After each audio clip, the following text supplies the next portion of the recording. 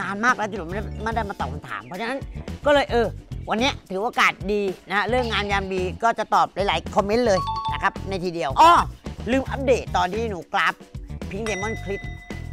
กราฟละ1 5 0 0 0 0 บาทนะครับที่เอามากราฟตอนนั้นเนี่ยเพราะว่าปัญหามันเกิดคือเอ่อ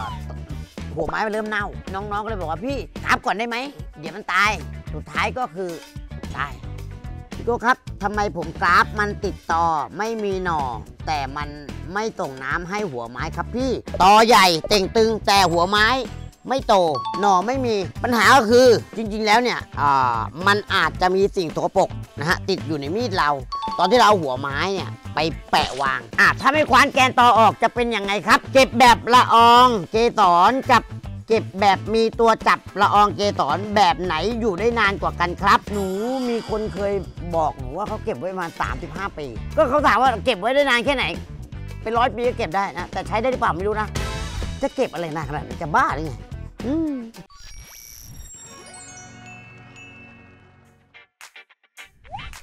วัสดีครับแต่แน่ต้อนรับทุกคนเข้าสู่ตัวตลกแคคตัสนะครับ วันนี้ต้องกราบขอโทษนะครับ หลาย ๆ คนที่เข้ามาดูคลิปนะฮะใน YouTube ก็ยังไงก็ฝากกด subscribe ให้ด้วยนะครับผม นานมากแล้วที่ผมไม่ได้ไม่ได้มาตอบคำถาม เพราะฉะนั้นก็เลยเออ วันนี้ถือโอกาสดีนะฮะเรื่องงานยามดีก็จะตอบหลาย ๆ คอมเมนต์เลยนะครับในทีเดียวนะครับมาตอบคอมเมนต์ก่อนอ้อลืมอัปเดตหลาย ๆ คนนะครับหนูได้ลงเออตอนที่หนูกราฟพิงเดมอนคลิปกราฟละ1 5 0 0 0 0 บาท นะครับต้องบอกก่อนว่าที่เอามากราฟตอนนั้นเนี่ย เพราะว่าปัญหามันเกิดคืออหัวไม้มันเริ่มเน่า หัวไม้เริ่มเน่าแล้วทีนี้เนี่ยมันก็เริ่มลามนะครับทีนี้น้องๆก็เลยบอกว่าพี่กราฟก่อนได้ไหมเดี๋ยวมันตายสุดท้ายก็คือตายนะครับ ติดเชื้อ เข้าเส้นเลือดตายหมดสิบกว่ากราฟ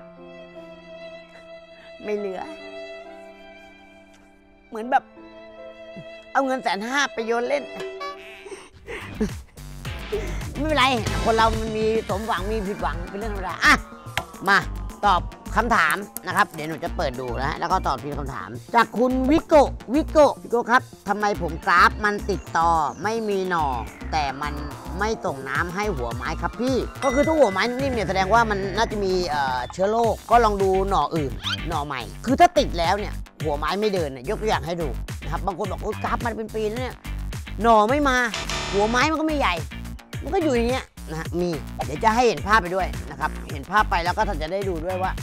อ๋อเออว่ะอะอย่านี้นี่นะนี่ก็นี่ก็เป็นหนึ่งต้นนะครับที่เป็นแบบนั้นนะฮะนี่เหมือนกันเห็นไหม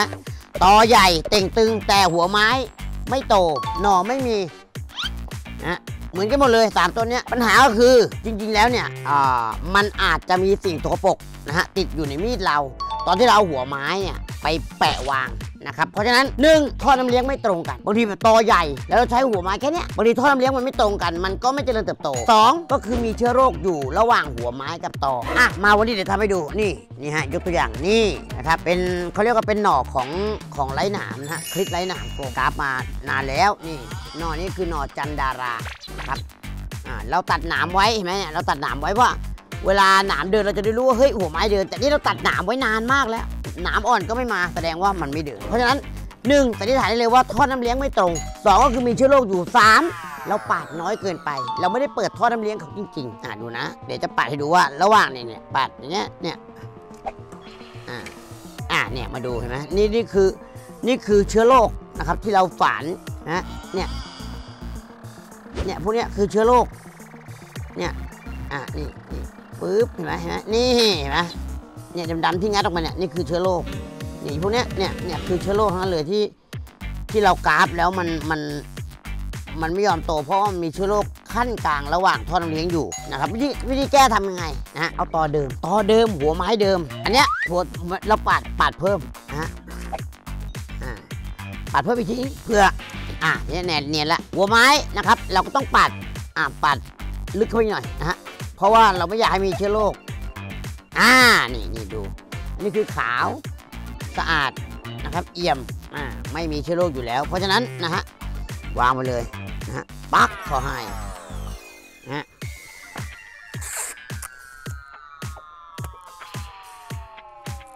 ปักเขาให้อะเดี๋ยวเรามาอัปเดตให้ดูว่ามันมันโตไหมยอดเดินหรือเปล่านะครับวิธีการแก้นะครับก็คือตอเดิมหัวไม้เดิม แต่แค่ตัดตอลงไปหน่อย ตัดหัวไม้เพิ่มอีกนิดนึงนะฮะเพื่อเปิดท่อน้ำเลี้ยงใหม่ให้เขาอะคำถามต่อไป ที่บ้านตอเต่งมากค่ะ แต่หัวไม้กราฟไม่ค่อยโตเลยเป็นเพราะอะไรอะเมื่อกี้บอกไปแล้วนะฮะแบบมันมีเชื้อโรคอยู่ตรงกลางหนึ่งก็คือท่อน้ำเลี้ยงไม่ตรงกันนะครับสองก็คือมีเชื้อโรคอยู่ตรงกลางสามก็คือเราปาดบางไป เราไม่ได้เปิดท่อน้ำเลี้ยงของหัวไม้มาก มันก็เหมือนแบบมันก็แค่หล่อเลี้ยงแต่ไม่โตก็แปะอยู่นั่นแหละนะฮะอ่าต่อไป ถ้าหัวสภาพดีแต่ตอเป็นลาสนิมหนักมากควรหักลงด้วยไหมอ่า อันนี้ทำให้ดูอ่าถ้าไม่คว้านแกนต่อออกจะเป็นยังไงครับอะเอาถ้าไม่คว้านก่อนถ้าไม่คว้านแกนต่อออกนี่นี่คือหัวไม้นะครับแล้วเราหักลงมันจะเป็นสภาพนี้อ่าทำไมเป็นสภาพนี้เดี๋ยวดูทำไมหักลงนี่นะนี่อ่าดูต่อก่อนนะฮะต่อเป็นเชื้อโรคนะนี่นี่อะถามว่ายังเลี้ยงได้ไหมก็เลี้ยงได้ แต่ว่าถ้าเรากลัวมันจะลามขึ้นหัวเราก็หักลงนะเปาะนี่อ่าเห็นไหมเหมือนกันไหมนี่ฮะจะเหมือนกัน อันเนี้ย หักมาหลายวันแล้วนะครับอันนี้เพิ่งหักเมื่อกี้ตอบก่อนนะฮะตอบน่าจะตอบคนเดียวกันได้เลยแหละนะฮะถ้าสมมติเราไม่ควานต่อก็ต้องพยายามเอาเนื้อต่อออกให้หมดให้เหลือแกนต่อไว้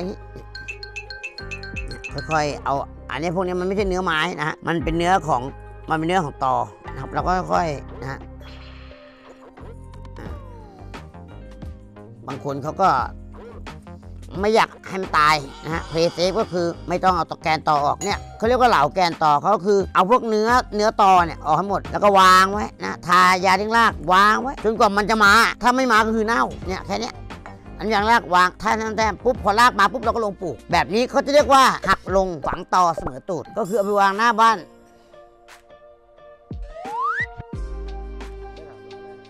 อะไรหายไอ้ตอหายเหรอจ๊อบฮะ เรื่องจริงจังไงจ๊อบไม่ได้ตลกตอนนี้มันไม่ต้องตลกตอนนี้ อยากรู้การอบไม้ทำอย่างไร มีข้อควรระวังไหมครับ การอบไม้ก็คือหนึ่งนะครับมันจะช่วยฟื้นฟูสภาพของไม้ ให้กลับมาแข็งแรงโดยเร็ววันนะครับ เวลาเราอ่าเขาจะใช้ในกรณีที่ไม้เล็ก อบให้มันโตไวหรือไม้เพิ่งปลูก อบเพื่อให้รากมา ผิวจะเต่งตึงนะครับ ก็มีข้อควรระวังอะไรไหมก็ถ้าตึงแล้วควรเอาออก นะครับถ้าตึงแล้วควรเอาออกและอย่าอบนานไป มันเหมือนเด็กอะเด็กที่อยู่ในตู้อบอะมันต้องเผชิญกับอากาศข้างนอก มันต้องเผชิญกับแบคทีเรียเพื่อจะต่อสู้มีภูมิต้านทานให้ตัวเองเข้าใจไหมถ้าสมมติท่านอบ สังเกตเลยฟาร์มไหนที่อบไม้เนี่ยไม้แบบเขาจะผิวใสนิ่งเลย คือแบบสีสวยสีแบบสีใสๆแบบนั่นแหละนั่นคือไม้อบแล้วขุดมาขายเลย แต่พอไปอยู่บ้านท่านปุ๊บอะ เหมือนเหมือนคุณหนูไง เหมือนลูกคุณหนูอะไม่เคยอยู่บ้านนอกคอกนา พอมาตากแดดตากลมปุ๊บผิวกล้านบางทีแตกบางทีก็ไม่สวยก็เบิร์นข้อควรระวังก็คืออย่าอย่าอบมากเกินไป อบเท่าที่ให้เขาฟื้นตัวได้ พอพอเขาฟื้นตัวดีแล้วก็เอาออกวิธีการอบมีเยอะแยะมากมายนะครับใส่กล่องนะฮะหรือตั้งง่าย ๆ เลย ถ้ามีกระถางเล็กนะฮะเอาถุงแกงอะเวลาท่านซื้อแกงมาเนี่ยกินแกงอะไรเสร็จปุ๊บเนี่ยถุงเนี่ยล้าง แล้วก็เอากระถางสองนิ้วที่เราปลูกเนี่ยใส่เข้าไปนะฮะหยอดน้ำไว้หน่อย นะฮะให้ดูอยู่ขอบขอบตูดถุงอะแล้วก็มัดเหมือนแกงอะแล้วก็วางไว้ในโรงเรือนเดี๋ยวมันก็ติ่งการเก็บเกสรต้องเก็บเกสรวันไหนที่น้องเริ่มบาน ต้องถามกันว่าคุณอยากเอาผลผลิตแบบไหน ถ้าคุณอยากได้เกสรตัวผู้ที่มีประสิทธิภาพก็คือให้เก็บวันที่สองแต่ถ้าคุณอยากให้เกสรตัวเมียมันบานเต็มที่ แล้วพร้อมที่จะรับเกสรตะปอของเกสรตัวผู้ลงไปเนี่ยให้เก็บวันที่สามก็ได้ เพราะว่าเกสรตัวเมียมันจะได้บาน แต่ถ้าท่านอยากได้เกสรบางวันที่สองเนี่ยบางทีเกสรตัวเมียมันยังไม่อ้าแต่ก็ยัดได้ยัดได้ ภาษาเราก็เรียกข่มขืนข่มขืนได้นะครับ เพื่อเราจะต้องการเกสรตัวผู้ที่มันสมบูรณ์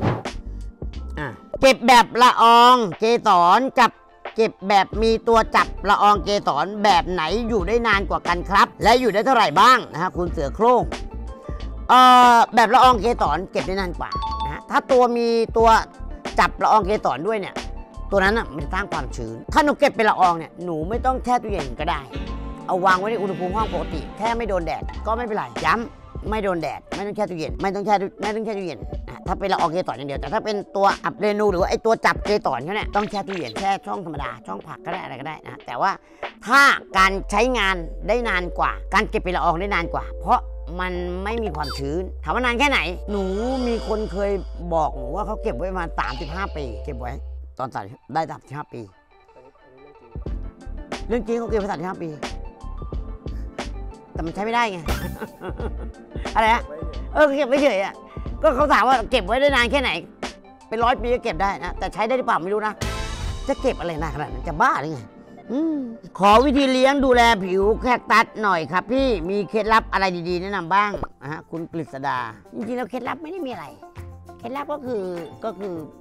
เวลาหนูเปลี่ยนกระถางทีหนูก็จะขัดเอาแปรงเอ่อแปรงฟันนุ่มๆเนี่ยขัดเช็ดออก ก็ ปลูกใหม่ก็โอเคจบนะสำหรับวันนี้ก็คำถามนะฮะก็ตอบได้ทุกทุกอย่างนะครับผมก็สำหรับใครที่ได้ชมแล้วนะครับ แล้วก็มีอะไรข้องใจนะหนูสัญญาว่าหนูจะพยายามมาตอบคำถามให้ได้ทุกทุกคน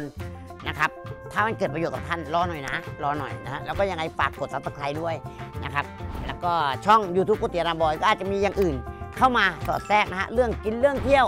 นะครับ เรื่องเดียวกัน